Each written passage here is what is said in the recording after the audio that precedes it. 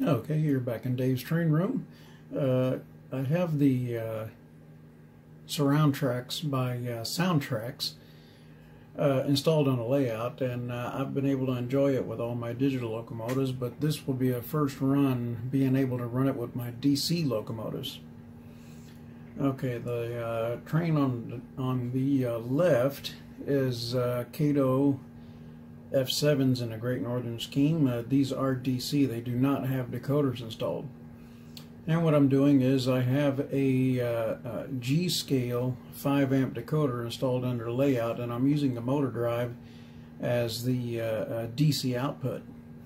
Uh, I have programmed the DCC decoder to 99 for the inside line. Now I have the inside and outside isolated uh, so I'm able to run DC on one line and DCC on the other, and uh, in whatever configuration I have it on. Uh, both of them happens to be that I have uh, DC on both sides. Uh, the inside again is 99, and the outside is uh, address 98. I have two separate decoders mounted. Now what I've done is, is the SurroundTraxx reacts in a digital environment. So to our advantage, since we're using a digital decoder to run the DC side, I'm able to uh, program my SurroundTraxx to the uh, uh, to the address uh, that uh, is on that's controlling the line, which again in this case is number 99 on the inside.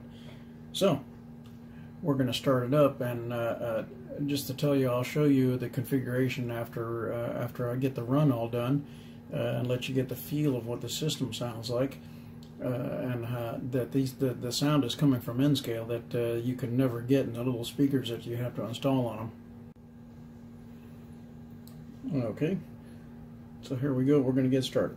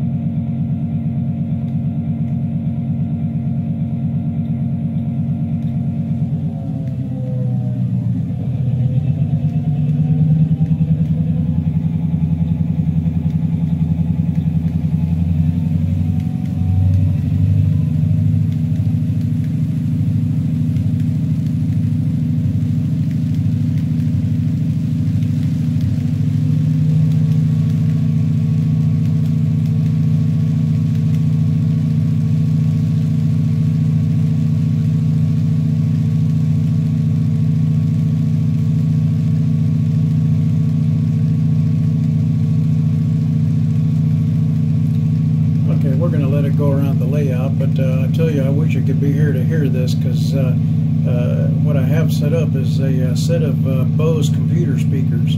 Uh, they have a built-in amplifier along with a subwoofer to really enhance the sound of the SurroundTraxx. So as we see the locomotive go by and come back around and we hear it slow down, it's just as spectacular.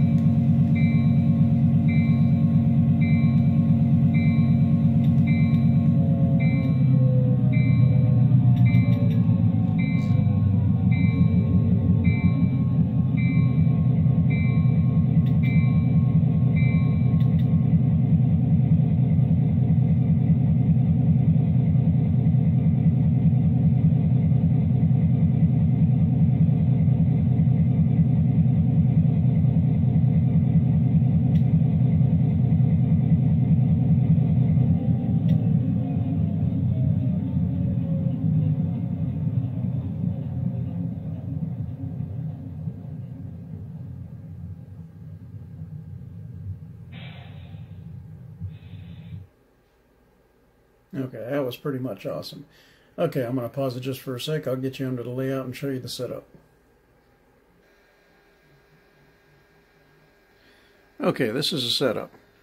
Uh, we have two boosters, which uh, shortly I'm going to have a third one, and the third one is going to be running uh, my switches and accessories and stuff like that. But this is the guy, little guy right here that is doing all the sound magic, which is this one right here. Uh, that is the SurroundTraxx. Uh, that is done by uh, Soundtraxx, the guys who make all the really cool sound decoders.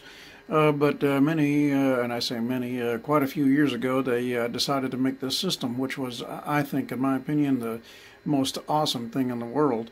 Uh, but to their, um, well, I imagine I'm just speculating, but basically, if you have this system, you won't have to buy any decoders, sound decoders anyway.